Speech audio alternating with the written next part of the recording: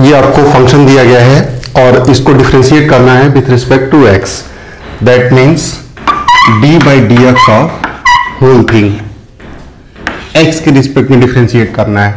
आप तो ये लीनियर डिफरेंशियल डिफ्रेंशिएशन है तो ये क्या हो जाएगा आपका? एल्जेब्रा लग जाएगा डिफ्रेंशिएशन का। ये डिस्ट्रीब्यूट हो जाएगा एक तरह से। क्या हो जाएगा? D by d x of e की power x plus d by d x of e की power x square plus d by d x of e to the power x cube और plus d by d x of x की power e to the power x की power four plus d by d x of e to the power x की power five ठीक है differentiate करना start करते हैं। तो ई की पावर एक्स का डिफ्रेंशिएशन क्या होता है आपका? ई की पावर एक्स होता है। तो ये तो यही आ जाएगा। ठीक? लेकिन यहाँ प्रॉब्लम हो जाएगी।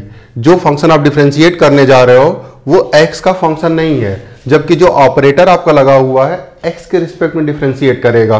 तो डी बाई डी एक्स हम नहीं निकाल सकते हैं। यहाँ पे क्या लगाएँगे हम लोग? चेन रूल क्योंकि यहाँ जब एक्स फ़ंक्शन की सीक्वेंस क्या है? एक्स है जो एक्स स्क्वायर का फ़ंक्शन है ठीक है? या स्क्वायर का फ़ंक्शन है उसके बाद ई e का फ़ंक्शन है। तो सबसे पहले आउटर फ़ंक्शन डिफ्रेंशिएट होगा मतलब ई e, और ई e का डिफ्रेंशिएशन ई ही होता है मतलब ई की पावर एक्स स्क्वायर जो भी इनसाइड ई के है। फिर आगे कौन डिफ्रेंशिएट होगा? स्क्वायर स्क्वायर का क्या होता है? N x n minus one ठीक है?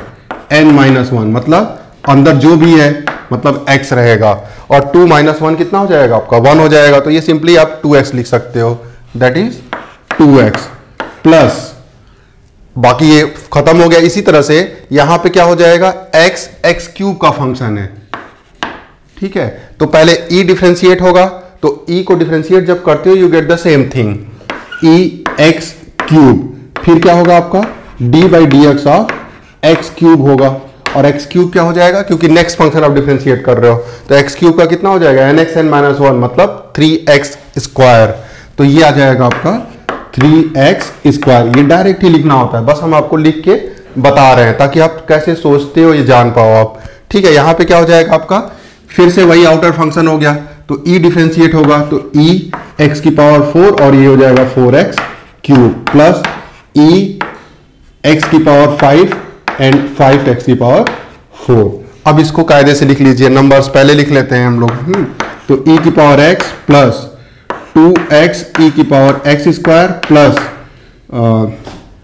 three x square e की power x cube plus four x cube और e की power x to the power four plus five x की power four e power x to the power five तो that is your final answer क्योंकि इसको आप, इसके बाद further हम सिंप्लीफाई नहीं कर सकते हैं.